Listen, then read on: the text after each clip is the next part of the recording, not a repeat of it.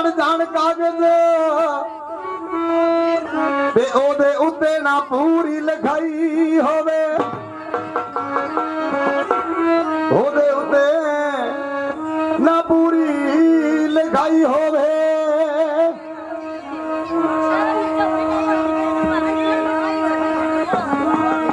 ਜਗਾਰਾ ਬਾਬੇ ਨਾਰਵੀਰ ਦੇ ਦਰਬਾਰ ਦਾ। ਆਪ ਦਾ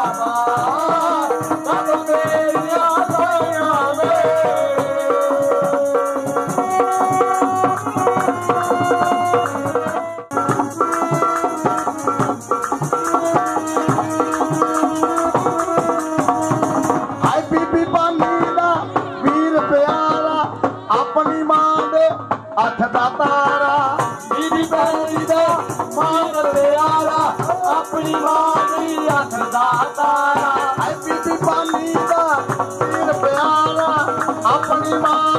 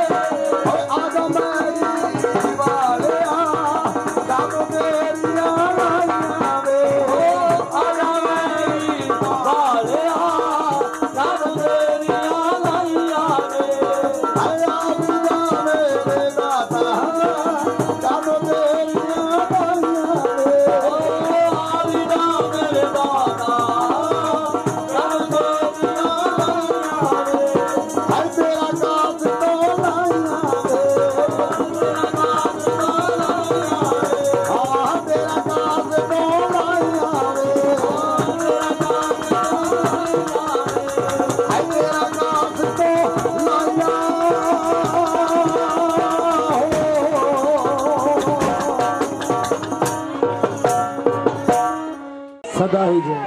सदा ही जय सदा ही जय।